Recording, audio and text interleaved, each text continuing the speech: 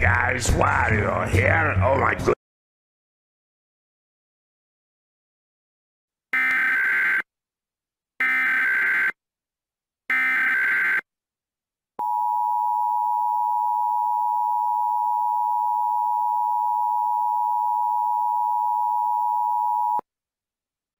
This is a test of the National Emergency Alert System. This system was developed by broadcast and cable operators in voluntary cooperation with the Federal Emergency Management Agency, the Federal Communications Commission, and local authorities to keep you informed in the event of an emergency.